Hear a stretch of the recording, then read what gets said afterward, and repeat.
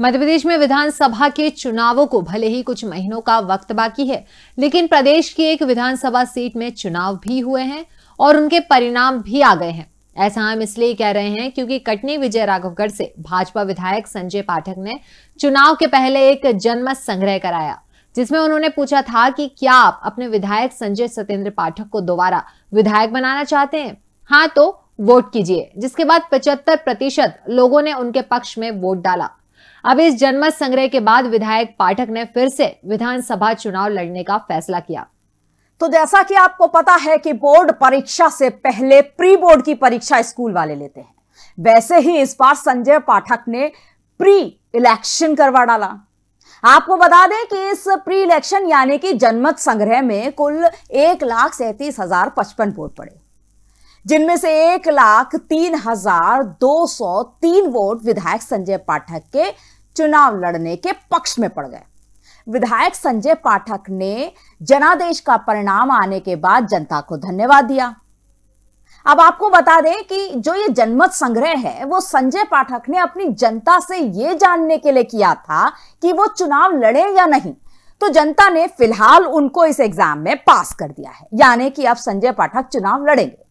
इस जनमत संग्रह के परिणाम को उन्होंने जनता का प्रेम भी बताया। विधायक संजय पाठक का कहना है कि जनादेश में जिन्होंने मुझे फिर से विधानसभा चुनाव लड़ने की अनुमति दी है, उन सभी मतदाताओं का आभार। इसके साथ ही उन्होंने कहा कि जिन्होंने चुनाव लड़ने की अनुमति नहीं दी है, उन्हें भी मनाने की कोशिश करूँगा। संजय पाठक का कहना है कि यह जनमत संग्रह कराना आसान बात नहीं थी।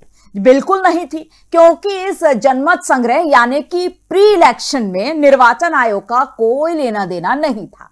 यह संजय पाठक की ही एक उपज थी कि वो चुनाव करवाएँ और लोगों से पूछें कि वो चुनाव लड़े या नहीं तो पिछहत्तर प्रतिशत लोगों ने उनके प्रति सहमति जताई और चुनाव लड़ने के लिए उनको पास कर दिया। शुरुआत में संजय पाठक का कहना है कि परिवार के लोगों ने भी मना किया था, लेकिन मैं जनता के फैसले से ही चुनाव लड़ना चाहता था। यह जनमत संग्रह पूरी निष्पक्षता के साथ हुआ। मीडिया के कैमरे के सामने ही गणना हुई। इस जनादेश के बाद लोगों से मिलने का मौका मिला, उनकी समस्याओं को जानने का मौका मिला। प्रदेश में भाजपा की सरकार फिर से बनने जा रही है। संजय पाठक अब बेहद आश्वस्त नज़र आ रहे हैं। मुझे तो पूर्ण विश्वास था कि 60 परसेंट, पैंसठ परसेंट के आसपास मुझे वोट करेंगे।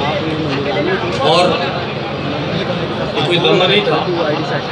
ये अपनी की हुई सेवा का परिणाम, जैसे एक छात्र जब परीक्षा देकर आता है तो उसको मालूम होता है कि उसको कितना लगभग मिलेगा, लगभग कितना आएगा। तो मुझे तो अंदाज़ा था कि जनता का आशीर्वाद मेरे साथ रहेगा, परिजन का जनता का आशीर्वाद मेरे साथ रहेगा।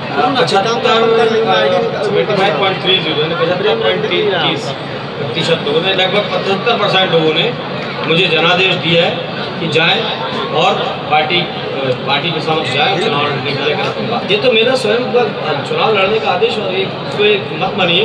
इसको ये मानिए कि स्वयं का मूल्यांकन मैंने किया कि जन जन का आशीर्वाद मेरे साथ है कि नहीं है। और इस मूल्यांकन में मैं खड़ा उतरता हूँ। परिजनों के जन जन के आशीर्वाद में उनके विश्वास में पचहत्तर Rabindranath Tagore university Bhopal. Only private university in MP to be N I R F rank for five consecutive years जहाँ है सौ ऐसी ज़्यादा company types for placement Atal incubation centre for nurturing startup industry academia collaboration for exposure of real industry world twenty centres of excellence for research साथ ही global festival विश्व रंग में शामिल होने का अवसर देता है। Rabindranath Tagore university unlocking potential